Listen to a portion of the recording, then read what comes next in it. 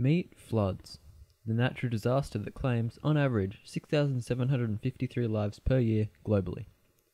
Defined by the Oxford Dictionary as an overflow of a large amount of water beyond its normal limits, especially over what is normally dry land, they usually have devastating effects. Floods are caused when there is heavy rainfall and watercourses, such as rivers and creeks, cannot support the excess water and therefore overflow. However, floods don't always occur due to excess rainfall.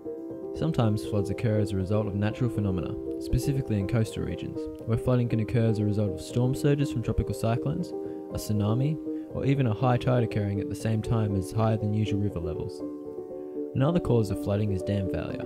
Dam failure can be due to an earthquake, poor engineering, or even an act of terrorism. If dam failure is the cause of flooding, flooding can occur during dry periods and will result in all the areas downstream of the dam to be affected. No matter the cause, floods still have the same devastating effects.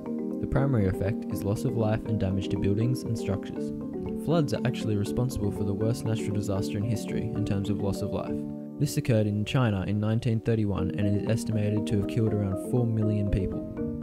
Locally, floods have caused major damage. In 2010, the Queensland floods claimed the lives of 38 people and caused $2.38 billion worth of damage. 90 towns and 200,000 people were affected. The hardest hit areas included Brisbane, Rockhampton, Emerald, Bundaberg, Dalby, Toowoomba, Roma, and Ipswich.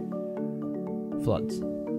They're not weak, they're not safe, and they sure as hell shouldn't be underestimated.